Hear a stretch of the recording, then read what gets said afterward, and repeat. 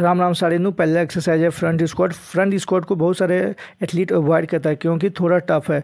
पर ये फ्रंट है मीन्स कोडिसेप के लिए बहुत ही इम्पैक्टफुल एक्सरसाइज है और इससे आपका बैक स्क्वाट भी बहुत ही अच्छा हो जाएगा पोस्चर दूसरा एक्सरसाइज है डम्बल लंज इसमें ये इंपॉर्टेंट है कि आप ग्रेविटी सेंटर में रखिए और आगे या पीछे आप मत झुकिए। अगर आपको वेट के साथ प्रॉब्लम होता है तो खाली हैंड कीजिए, पर इस एक्सरसाइज को ज़रूर कीजिए। तीसरा एक्सरसाइज है लेग प्रेस इसको करते समय माइंड में ये रखना है ख्याल कि पैर ज़्यादा स्ट्रेट नहीं करना, थोड़ा बैंड रहेगा और इसी इसी पोस्चर में आपको इस एक्सरसाइज को परफॉर्म करना जैसे मैं कर रहा हूँ, ऐसे ही आप कीजिए, आपको ज़रूर बेनिफिट मिलेगा इस एक्सरसाइज को।